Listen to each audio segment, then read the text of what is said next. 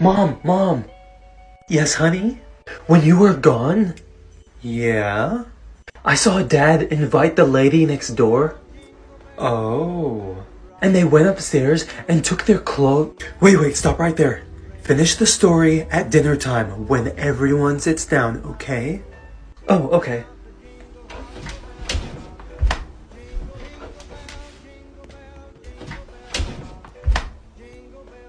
So, what's for dinner? I'm starving. Honey, was there something you wanted to say?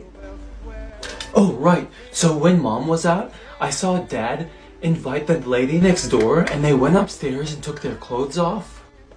And what else did they do after that, honey? And they did the same thing that mom and Uncle Jeff do all the time.